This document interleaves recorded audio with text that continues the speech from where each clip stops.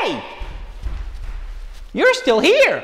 Cool. Uh, today's Tango Truism is 1223, and there are seven addendums left. Okay, today's Tango topic, hanging.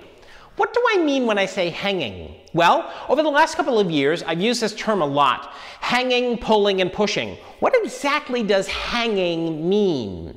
Well, uh, hanging refers to uh, if I'm the lead here, this is my, my lead left to a follower right, and I pull down with most of my weight with my right. That's hanging. We'll get, it, get, get into a little bit of detail in a moment. Item number two refers to you're going to see a whole bunch of followers that take their left arm and place it al along the, the, the shoulder line of the lead. Item number three is uh, happens in turns, specifically on the follower's forward step or the follower's uh, back step in a molinete or a follower's back ocho. And it usually happens when they're pulling down and need to push off of something. Me showing you this doesn't necessarily help you to understand what I mean by that. So I want to go a little deeper and explain just a little bit what I mean by Okay, so in the case of number one, where I'm pulling down, watch, look at what's happening here. I'm having to, as a lead, I'm having to hold my follower up. Uh, that, that means that if I want to, to lead anything, that means that I have to, quite literally and factually, stabilize you first and then overpower you secondly. That's a lot of strength to do that.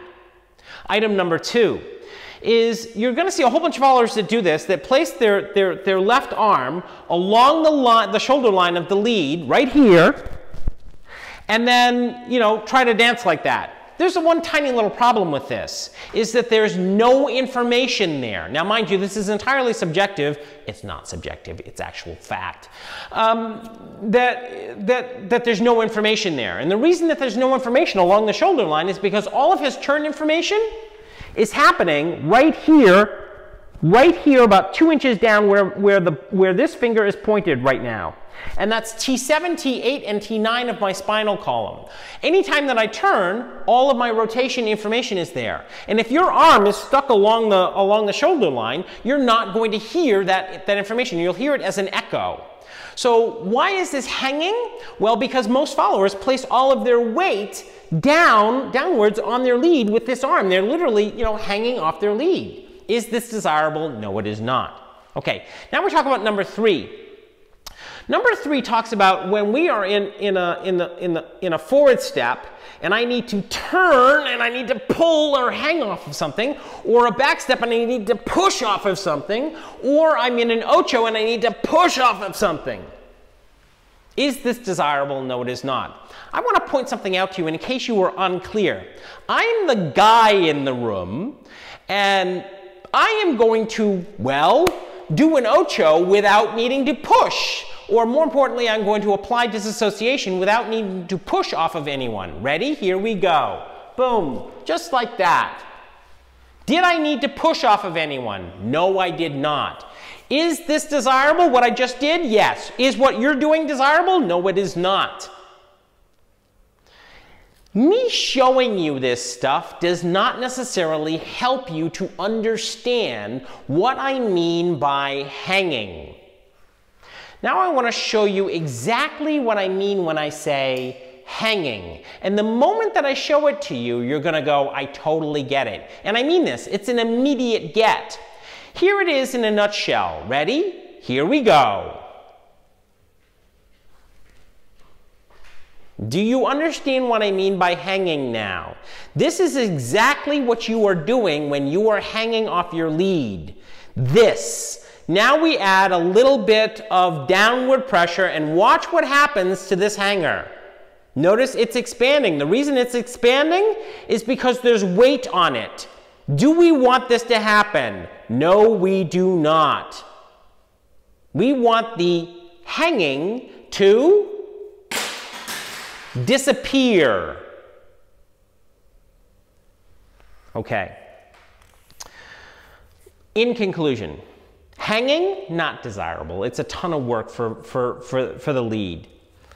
Um, you can agree with me, you can disagree with me. But there are two things that are true.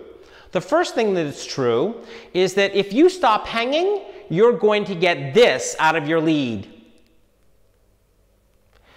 Put simply, it's less work for them.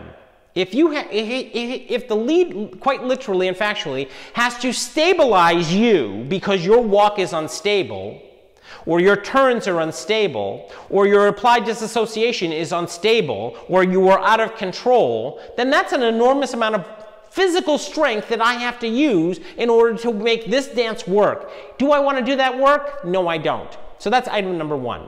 Item number two has everything to do with at the end of that tanda, I am going to say two words to you. Do you know what they are? Let me help you out with this one. Thank you.